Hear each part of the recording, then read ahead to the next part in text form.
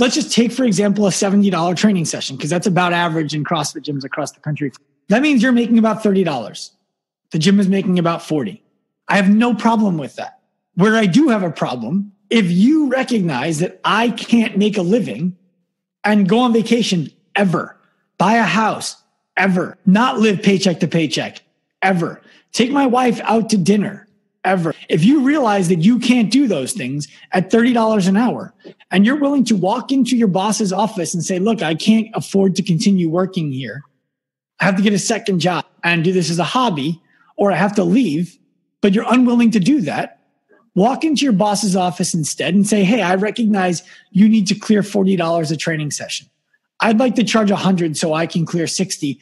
I will be responsible for marketing and selling those sessions. If the gym owner was already happy at one point making 40, it's only a dick measuring contest if that number needs to go up.